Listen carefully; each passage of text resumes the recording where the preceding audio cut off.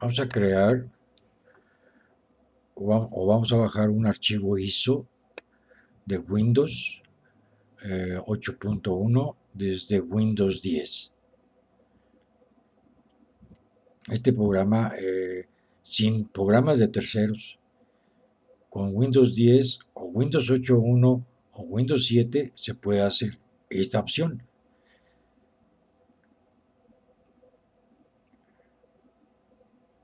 Podemos quemar una llave USB, pero tenemos que irnos a una al navegador y nos vamos a, descargar la imagen desde la página oficial de microsoft.com.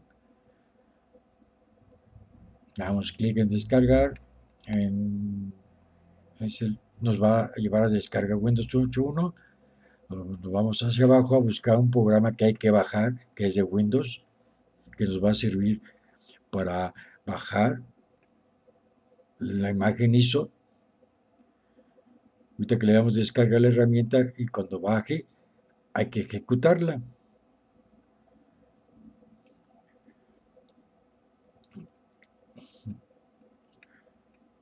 Esta, esta, ya la vamos a ejecutar.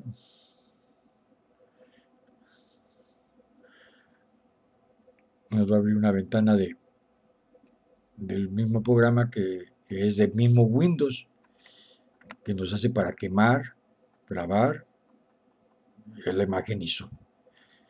Aquí dice qué tipo de archivo de instalación quieres. Le voy a idioma, quiero español. Edición, hay varios Windows 8.1, NE, el Pro, yo busco el Pro. La arquitectura 86 o 64, yo busco 64.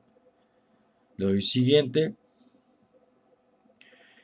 ¿Dónde quiero guardar? Yo quiero archivo ISO le voy a dar un archivo ISO, le doy siguiente.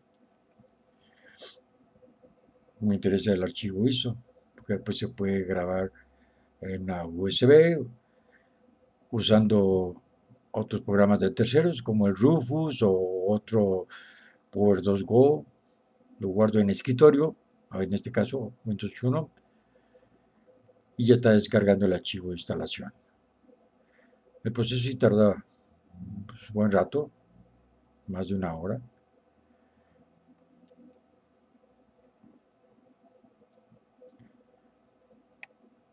Pero ya tenemos el Windows ISO 8.1 original. Y lo podemos instalar eh, en cualquier computadora que tengamos. Aquí dice dónde lo quiero copiar. Lo quiero copiar en el, en el escritorio, el ISO o en la grabadora DVD. Le voy a dar en desktop. Y ya me lo guardo. Ahí está el Windows 8.1, la imagen ISO original. Digo, como pueden copiar en otro programa como el Rufus para grabar una llave USB o este mismo programa le sirve para grabar en un DVD. Al abrir la grabación, yo no tengo grabado ahorita, se me descompuso, pero tengo una Samsung por medio USB, que no la tengo conectada. Me dice que no se encontró ninguna grabadora. Aquí se puede grabar en un DVD. El mismo programa de Windows nos hace esa opción, sin usar programas de terceros. Esa es la facilidad que tiene en Windows 10, Windows 8.1 y Windows 7. Y aquí ya, ya ya vieron que está mi Windows 8.1 en el escritorio.